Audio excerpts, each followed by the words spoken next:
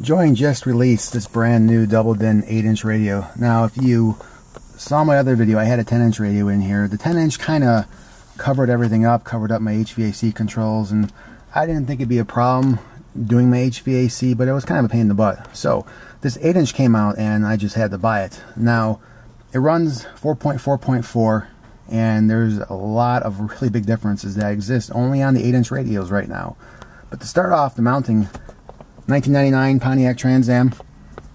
The only issue I had was I had to cut my bezel to get it to fit. The dash I didn't touch. It, it's a direct install. I had to literally cut out the center bar and then trim the sides. But since my bezel here is curved, it gets thin as it goes up, it kind of sticks out on the side. So I actually custom made another bezel. This is just my temporary one.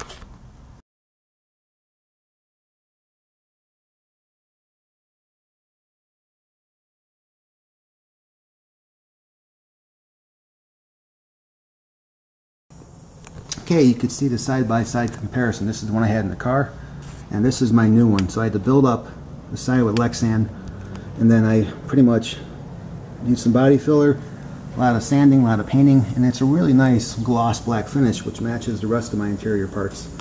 A lot taller, so it won't look like the radio sticks out. Okay, here is my new bezel intact. No more high spot on the radio screen right there. It's nice and flush all the way up and the black gloss matches my other black gloss interior pieces that I have all over. So, what makes this radio so much different? And it runs 4.4. Why didn't they put 5.1? Well, I don't know why they didn't do 5.1, but I have noticed that 5.1 is a bit slower than the 4.4s. So the huge difference on this guy, which is really big change, is the fact that this radio never shuts off. It always goes into a sleep mode. Now there's an option you could turn that off, but Unlike other Android radios that you shut it off and you have the cold boot of about 30 seconds, this is on instantly every time. You turn my key on, now my car has been off for two days. And it's on. There is no boot up time on this thing. Launches PowerAmp right away and you're ready to rock and roll within just a few seconds. Now the old Joying radios had a shutdown timer where you can go up to two hours and if you came back within two hours it would do the same thing. This one is all the time. It never shuts off.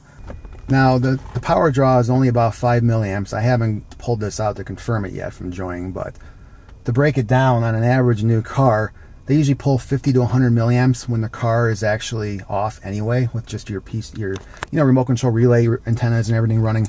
But 5 milliamps is nothing. I mean, you can run off 5 milliamps off a car battery for like a year and still be able to start your car. So not a problem, but you can turn it off. Now, if you have dormancy mode turned on where the radio never shuts down, there is a way you can manually reboot it. Now, none of the other radios I've ever seen have this option. You pull down the toolbar and you actually have a reboot button and you actually have a shutdown button. So if you do want to shut it down, if you're not going to be using your car for a couple days, heck, you can shut it down now.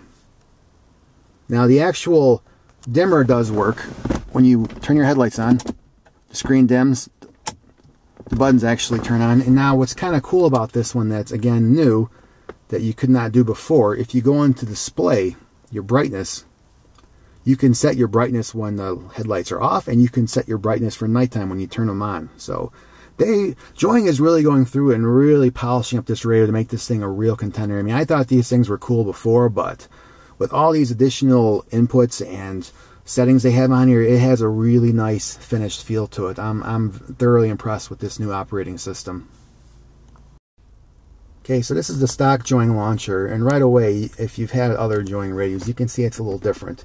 You got your time on the top here, some icons over here. I mean, it's nothing crazy. Now, for some reason, I installed Nova Launcher and Next Launcher, and you can install them, but they're not your default launcher no matter what you do. So whenever you press the home key, it's going to take you back to the stock Joying launcher, which is fine. I mean, the keys are big. It's really responsive. I have no problem using the Joying launcher. I kind of actually kind of like it for a car radio because you want to have the big buttons. The resolution on this is a much higher resolution than what I've seen on the other radios, and you can really see that when you launch Pandora because normally when you launch Pandora on a different Android radio or your phone, you have large Elmar on the one side, and then you have skip track and everything in the album that's playing. You launch Pandora now on this, this is like the tablet version. So you have the last different songs that have played. These are kind of small down here. Your play, your skip, you got the artist info and everything on here, and you have all your stations on the left. So it's kind of cool. It's an 8 inch. It's pretty easy to use. As long as you have good eyes, you can actually see it. But this is definitely not the cell phone version. This is like more a tablet version. My Samsung Galaxy tablet has looks exactly the same like this. I don't know how it determines that when you download it. It has to be a resolution thing because the same thing when I put a different launcher like Next Launcher on here, the icons are really, really small.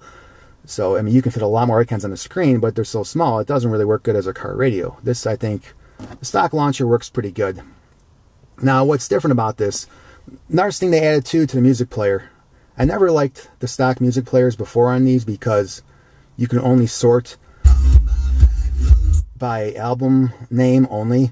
Well, at least now they added, you can go by artist, by the CD, or you can just do a folder search, and then you have your different sources right here. Sound quality in this thing is really, really good.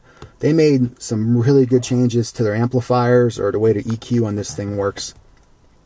Let me go into EQ here kind of made it a little cooler looking. They got uh, different types of, uh, with the little photo there, depending on what you do, the little picture changes. Just a low, high, and mid-range EQ, nothing fancy, but they do have a more advanced EQ. This is your different balance and fader settings. You go under the music equalizer, now you have a 10 band EQ, and you can actually adjust the different bands any way you want to. And now there's a bunch of other things on here. I really don't have any idea what a lot of this stuff is. You scroll down, you have a loudness. You actually have an extra loudness setting, and you have three different levels of that. You can optimize the speakers I have turned on. Reverberation, I really don't know what that means. The uh, fire equalizer, which is this, is enabled, so I can adjust the different bands and so on. And force enable V4A, don't know what that is. Going back, let's go into our settings. Settings menu is a little different than the other ones. It's very simplified. There's really not much here. Just your typical core Android settings. Now they have a different setup here for their settings. You go in the car media set. Here you can turn on your loudness, your key pan, your key tone, your uh, amplifier, and then they have another list of settings here. Your any key boot, handbrake, auto navigation, OSD time, rear view mirror on and off. You can turn off the mute when your car is in rear view camera. I do have a, my car switches to rear view camera, but I also have a toggle switch for it as well with the different setting lines on there. So that way it doesn't mute the music anymore. Your panel light, you can have it on all the time or you can turn it off. Time control. Now, this also dims too, which is very nice because a lot of the other ones did not dim when you turn your headlights on. You can set a default volume. You can actually set your mix scale on here. Steer setting is your steering wheel controls. That's a little different than the other ones used to be. They've changed quite a bit, and it's a little funky to get to work. I really had a hard time figuring out how to do this. You basically have to hold down the key on the screen first, and as you're holding it down, then press the steering wheel key and then release both of them, and then it goes through and sets. Now, I'm kind of disappointed that they removed the uh, home screen and the back arrow, because I actually liked having that for my steering wheel keys. I hit the back arrow all the time, so now I have to either hit the back arrow on the side panel or the one up in the upper corner. But that's okay. I mean, you got your typical volume up, down, mute, answer phone call, and so on. So that's your steer setting. Set your default navigation, copy your maps, and that's in this. So now you go in your advanced settings here. Password is 3368. So here's the dormancy I was talking about. So I have it turned on. You can shut that off. So when you turn your car off, every time you turn off, the radio will fully shut down. And then you have to go through the cold boot. This radio takes about 18 seconds to cold boot, which is not bad.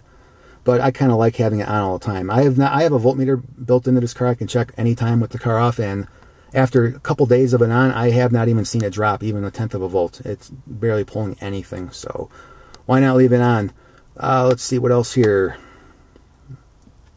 Scrolling up, your car mark is actually your boot up logo. I actually couldn't find that at the beginning, and it's kind of disappointing that they actually removed Pontiac. They always had Pontiac on here, but they have all the other major manufacturers on there for your car mark. I just used the standard Android boot up. Scrolling up, your volume balance. All right. upgrade the uh, thing. Touchscreen study. Now, touchscreen key study. This is new too, which is pretty cool. You can change all the buttons on the side to make them what you want. So if you don't want power to be power, you can have that be mode or phone. You know, you can change your your volume up to reverse camera. I mean, you could do whatever you want or turn your dimmer on if you don't use these if you're using your steering wheel controls for volume. So it's kind of cool that you can actually change the six buttons off to the side here with anything that you want to. Okay, that was the touchscreen study. And then also there's two different launcher types. I'll show you the other launcher here. Let's go to number two, which I think this is a reason why I can't install an aftermarket launcher is because it has this special home screen one set up here. So let me back out and go back to my new home screen here. So here's the other home screen. Everything a little bit bigger buttons. I haven't really messed with this one much. I mean, it might be kind of cool as long as you can move around stuff. It's a little different look to everything. Got your Navi and all that on there. I still would prefer to put my own on, but again, most of the time I'm not really in this screen anyway. I'm usually on, you know, the actual music screen itself. So everything on this thing works great. The sound quality, I'm telling you, I've had the top of the line NEX Pioneer receivers, Kenwood, you name it, and this thing sounds just as good. It sounds really awesome. I got good bass. They don't have a low pass filter. I do have an amp in here with two six and a half inch subs in my stock locations, and but I still got a ton of bass. I mean, I had to turn the bass down pretty good on this thing. Comes preloaded with iGo navigation, but you also have Google Maps to use on it as well. So overall, it's a fantastic radio one last part I wanted to show is, in my opinion, the best MP3 player to use on these Android radios is PowerAmp. Gives you good artwork. It's really easy to use, and you can just swipe to the side for the next track. There's actually a app out there, so you can use your next track button on your steering wheel controls to get this to work. And again, it, just the way it sorts your music. You can designate folders that you only want to play from. I mean, I have my wife's music and my music on here, so if it's just me in the car, I just turn her folder off. That way, when I'm playing random search or anything like that, it pretty much only plays my music and not hers. So it's really cool. I recommend this radio. Again, compared to my 10 inch, this thing fits so much better. My, my controls here don't even touch it. I can actually see them. So very, very nice radio. I'm glad that they came out the 8 inch, and the price was only 269, and that was shipped. Free shipping on this guy. Thanks for watching.